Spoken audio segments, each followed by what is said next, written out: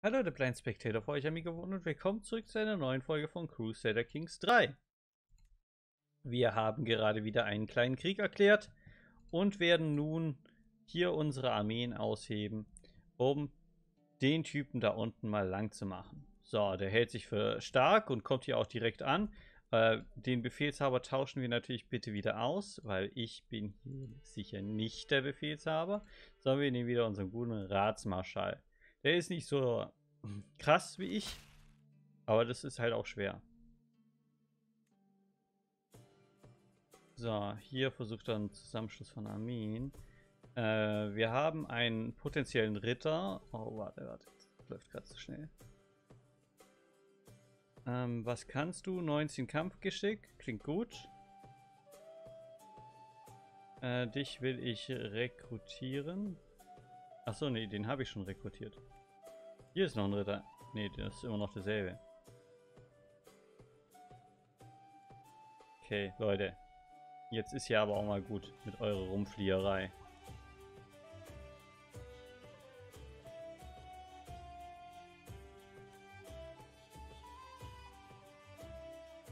Den da kriege ich.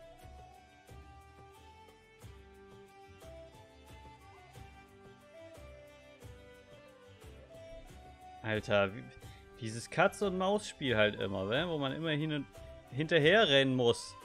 Es ist so nervig.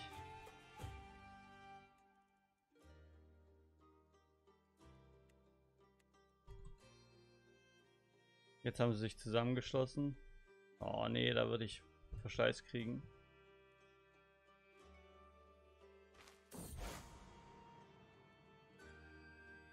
Äh, da hat irgendjemand äh, konvertiert das jetzt von einem bogomischen Glauben.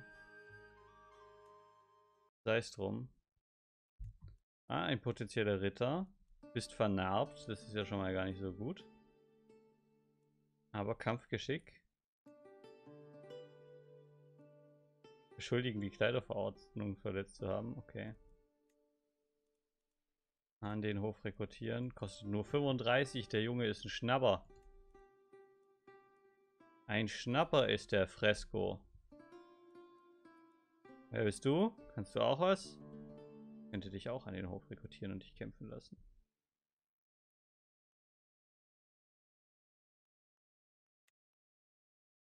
Meine Elf ist in Ordnung, oder? Aber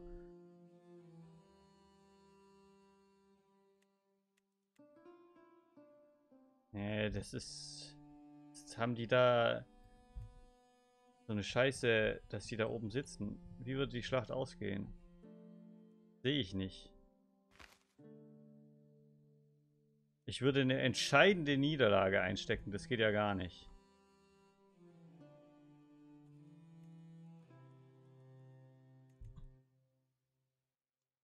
Adalberto ist gestorben. Okay, wir brauchen hier auch neuen Befehlshaber. Mein Ratsmarschall ist einfach gestorben. Oh, ich habe eine Bürgermeisterin, die das machen kann.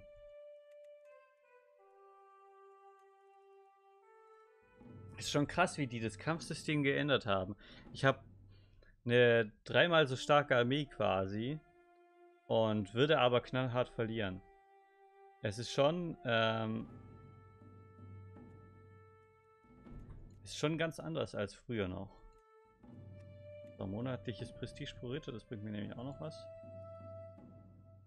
So, der Herzog da hinten ist zu diesen äh, Glauben da konvertiert. Der war Vasall, der ist Vasall im Pontifikat. Das wird potenziell für ihn nicht gut ausgehen. Sage ich, wie es ist. Da bin ich early.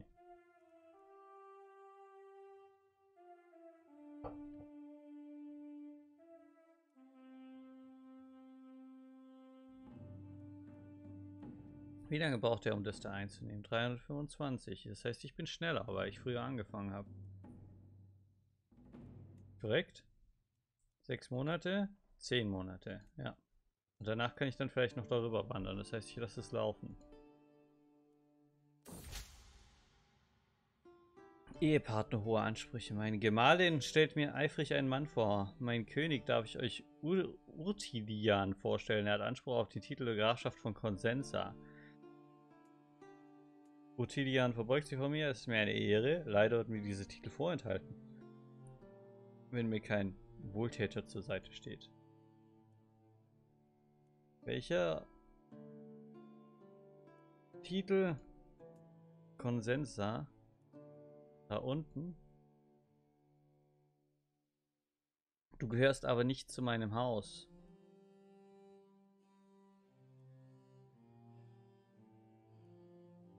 Glück dabei. Es bringt mir halt nichts. Wenn ich ihm das gebe, dann wird er ein eigenständiger Herrscher. In erster Linie mal, glaube ich. Ein neuer äh, potenzieller Ritter ist eingetroffen. Der ist sogar Riese. Ähm, 15 Kampfgeschick. In den Hof rekrutieren. Ich habe jetzt halt schon 10 von 10 Ritter. Aber dadurch kann ich jetzt zum Beispiel dem da verbieten wir das.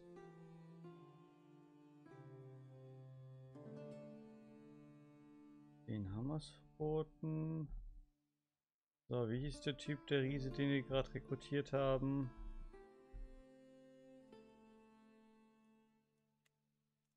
Äh, der da. Der macht gerade schon bei dieser Ritternummer mit. Den zwingen wir auch.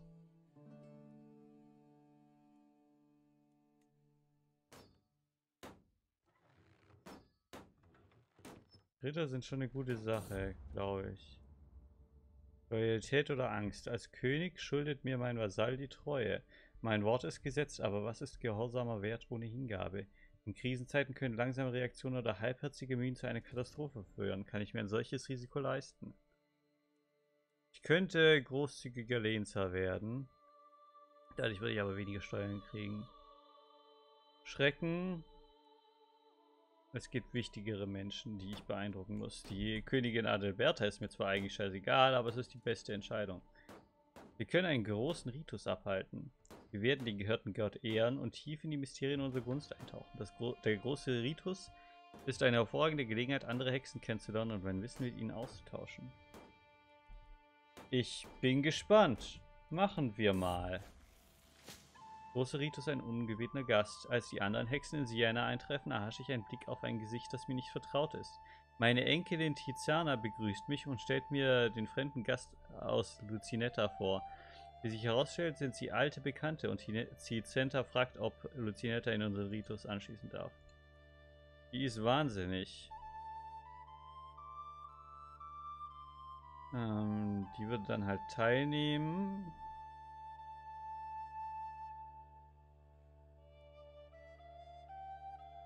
Okay, I guess. Aber dann weiß sie von uns allen das Geheimnis. Große Ritus der Vollmond geht auf.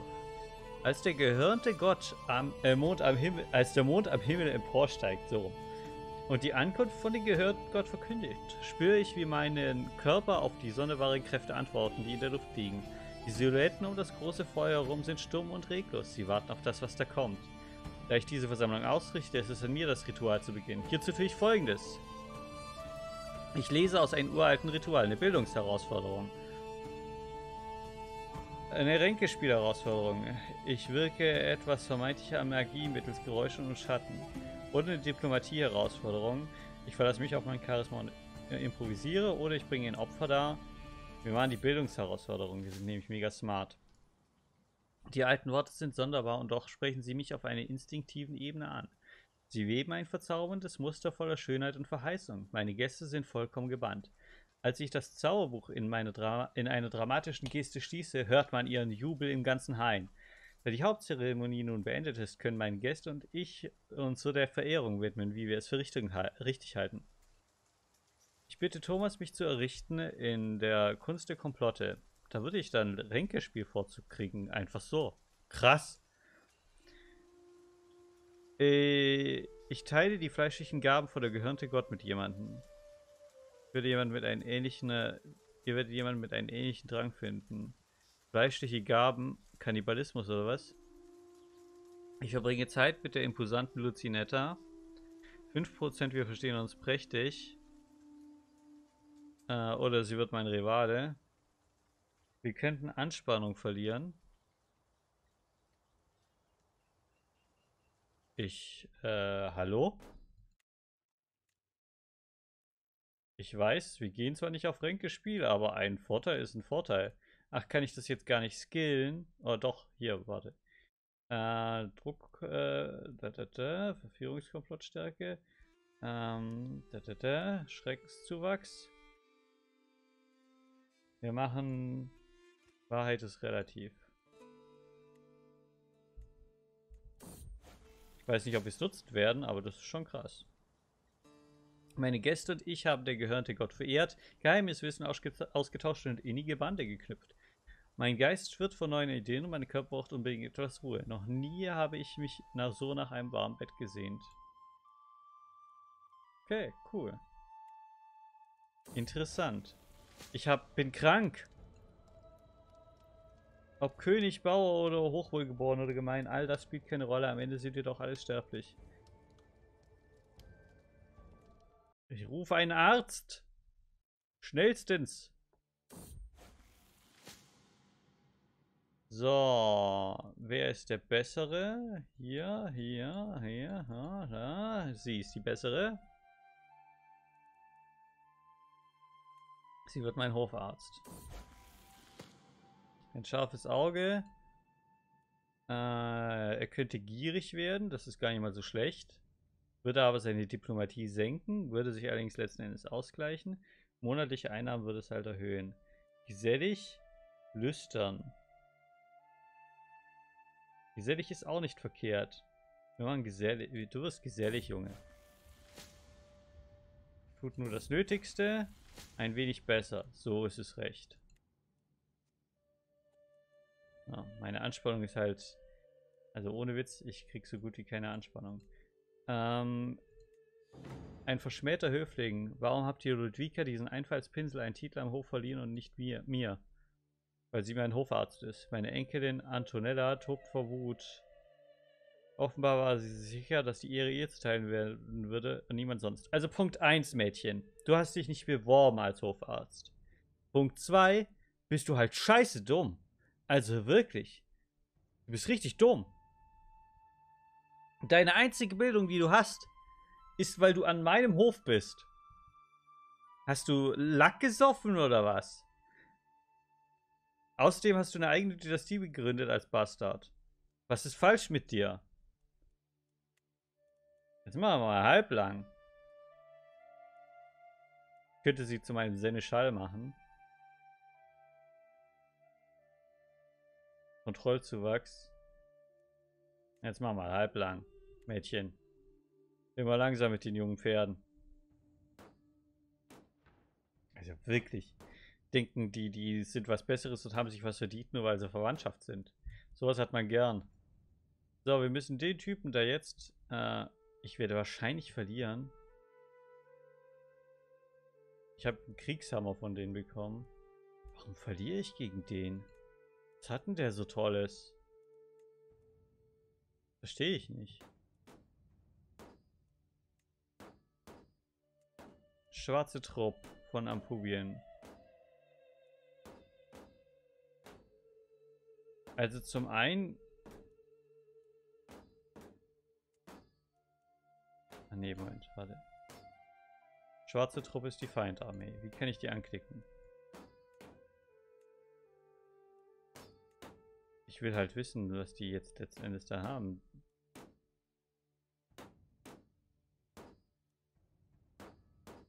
Also hier sehe ich ja, okay, hier sehe ich die, ha äh, der hat 30, 30 Dingens. Das ist halt krass. Und das ist eine recht ausgewogene Armee. Aber was soll ich denn machen? Also wirklich. Ich kann den halt höchstens ausweichen und gucken, dass ich hier meine Points voll krieg. Wenn ich den Bau hier komplett erobert habe. Das hier dauert 250. Der versucht das hier jetzt zurückzuerobern. 141, das ist halt schneller. Ich werde wahrscheinlich verlieren. Kann ich dagegen was machen? Söldner? Habe ich nicht genug Kohle dafür. Also ich könnte es machen und mich halt verschulden. Was Billiges halt. Der Bitterwintertrupp zum Beispiel. Anwerben. Das kann man so nicht... Also, Leute, wir machen hier jetzt erstmal noch kurz weiter. Den schicken wir schon mal dahin. Natürlich wird er da sein. Ob er will oder nicht. Ich muss halt gleichzeitig mit dem dann letzten Endes da ankommen. Aktion gegen euch geschaffen? Ja, okay, Bauernvögel. Whatever. So. Dinge, die wir tun. Also ich mag meine Frau, das ist eine gute, gute Sache. Kann ja eigentlich noch jemand hier groß zur Hexerei bekehren? Ähm, die hier jetzt? Hat eine höhere Erfolgschance als vorher, aber sie will halt immer noch nicht. Äh, da, da, da. Da haben wir ja schon.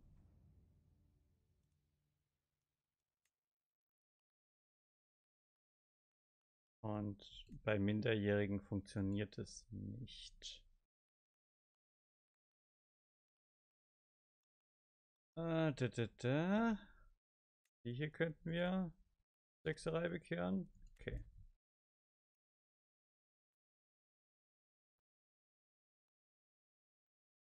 So.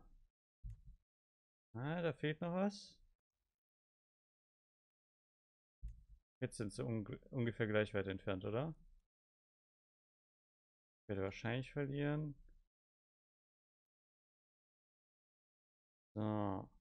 Mögliche Schlacht. 43 Tagen. Versuchen wir unser Bestes.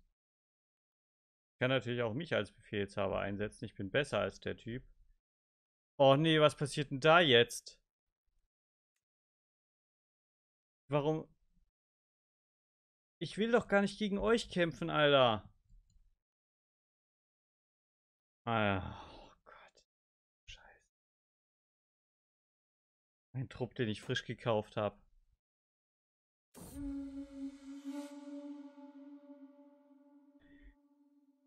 Seit Beginn meiner Suche erreichen mich aus allen Ecken des Landes Berichte über Sichtigen prächtiger Weißer. Füchse in dem Fall. Es ist eine gewaltige Mühe, den Bericht durchzugehen und äh, Wahrheit von Humbug zu trennen, wären die Berichte doch nur zuverlässiger.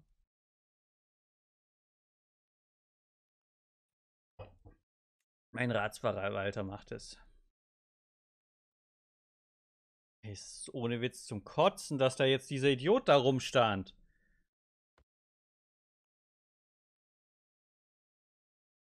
Das kann doch nicht sein.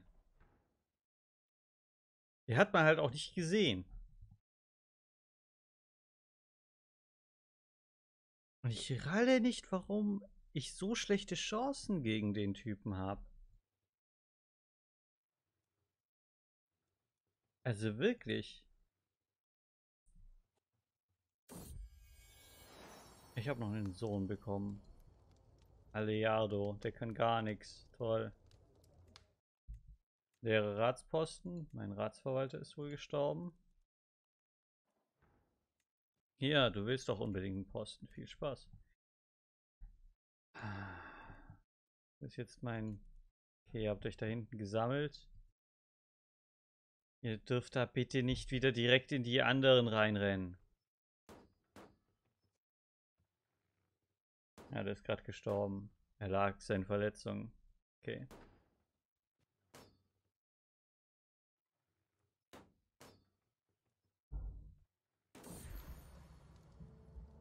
Bin nicht mehr krank. Sehr gut, ich werde ewig leben, Leute. Also wir haben das Ding da wieder erobert. Okay, immerhin. So, der hier braucht 240, um es zu belagern. Wir könnten natürlich so ein Belagerungsduell machen. Ich versuche was zu erobern, er versucht was zu erobern und dann schauen wir, wer letzten Endes dann die wichtigeren Punkte schneller erobert hat. Wäre denkbar. Wie sie da stehen. Die stehen da einfach, wie so Arschlöcher. Hier, nein. Ach komm, jetzt könnt ihr nicht mehr umdrehen, oder was? Was hat dieser Typ gegen mich? Ich helfe dir, du Idiot! Du wirst doch von denen angegriffen! Alter, was für ein Lauch kann man sein?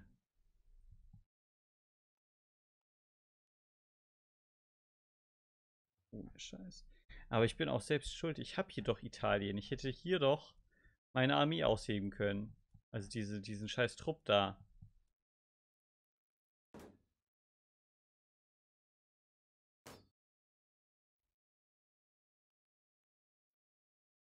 Kann ich den Papst mal wieder um Geld bitten? Und dann nicht. Kommen die jetzt? Nee. Die nix. Okay, also ihr löst euch auf. Hexerei konvertieren. Ah, die ist, die ist gerade krank, aber das kann man trotzdem machen.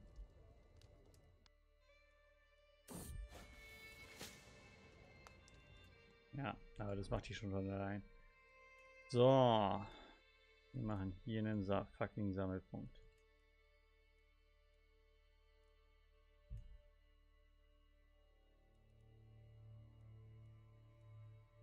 Ihr habt einen fallenden gelassenen Anspruch auf die Großstadt von Venetien erhalten. Cool. Durch einen Patzer, da hat jemand mit 1 gewürfelt. Ah, Moment, warte. So, hier alle ausheben. Was kommt da jetzt? Was kriegen wir dafür? So, Leute. Null. Cool. Okay, wir haben 100% reicht. Jesus. Alle auflösen. So, und das war eine weitere Folge von Crusader Kings 3. Ich hoffe, euch hat es gefallen und wir sehen uns dann beim nächsten Mal wieder. Bis dahin. Haut rein.